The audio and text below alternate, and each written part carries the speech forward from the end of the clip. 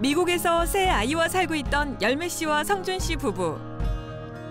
얄로하신 시부모님을 돕기 위해 하만으로 귀농을 결정했는데요.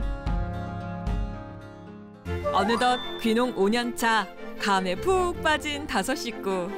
오늘 누가 많이 따고 빨리 따고 잘 따는지 보고 아빠가 한 명을 정하도록 하겠어.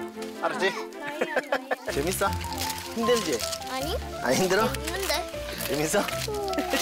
큰 것감. 감농장은 아이들의 자연 놀이터가 됐습니다.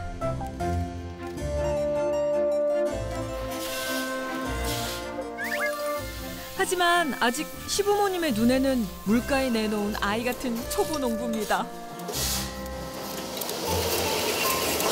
제가 이제 열심히 하면은